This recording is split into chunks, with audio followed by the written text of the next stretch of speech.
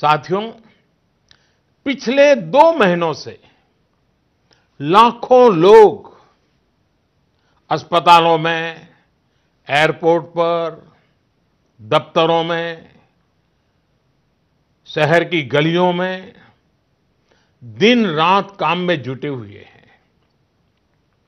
चाहे डॉक्टर हो, नर्सिस हो, हॉस्पिटल का स्टाफ हो सफ़ाई करने वाले हमारे भाई बहन हो, एयरलाइंस के कर्मचारी हो, सरकारी कर्मचारी हो पुलिसकर्मी हो, मीडिया कर्मी हो, रेलवे, बस, ऑटो रिक्शा की सुविधा से जुड़े लोग हो, होम डिलीवरी करने वाले लोग हो, ये लोग अपनी परवाह न करते हुए दूसरों की सेवा में लगे हुए हैं।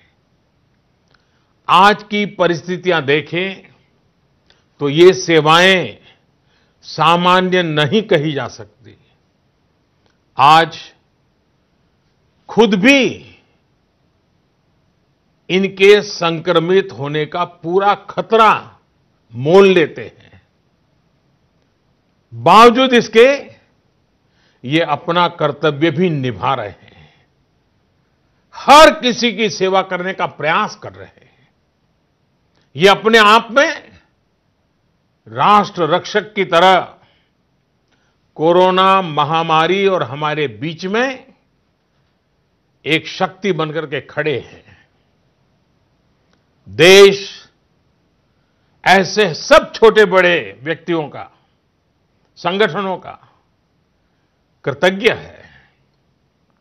मैं चाहता हूँ कि 22 मार्च रविवार के दिन हम ऐसे सभी लोगों को धन्यवाद अर्पित करें।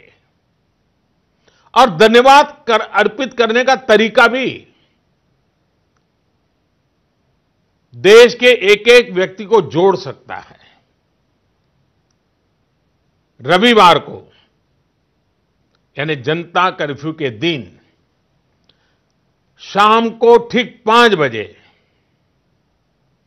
हम अपने घर के दरवाजे पर खड़े होकर या बालकनी में या खिड़कियों के सामने खड़े होकर पाँच मिनट तक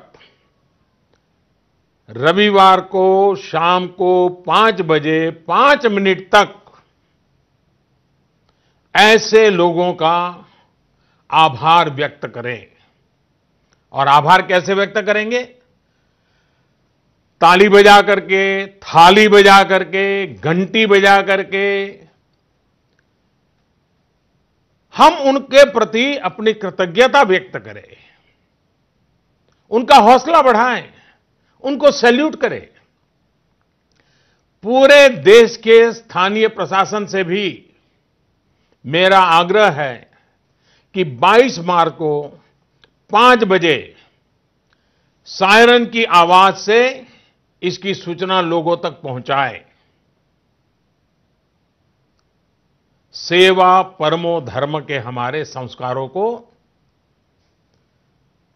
मानने वाले ऐसे देशवासियों के लिए हमें पूरी श्रद्धा के साथ अपने भाव व्यक्त करने चाहिए।